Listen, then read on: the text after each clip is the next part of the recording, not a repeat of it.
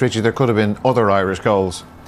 There could have been. I said beforehand that apart from the result, I was looking for aspects of the performance to get excited about and pleased about, and there were loads. And this is this is just a kind of example of what Liam spoke about. We're keeping the ball; it's on the ground. We're looking for teammates. O'Dowda again gets away from the defender.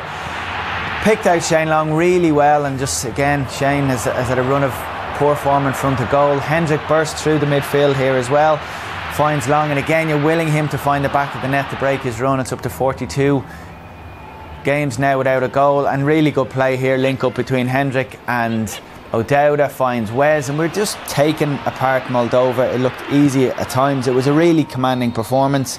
Robbie Brady was missing from the set pieces. He doesn't look like a loss. Hendrick's free kick there found Ciaran Clark's header. O'Dowda on this occasion found Duffy's head from a corner kick. So load of pleasing aspects. I did say before the game there wouldn't be a hatful of goals and it wouldn't be over half time. So I'm on fire so far. Okay, right.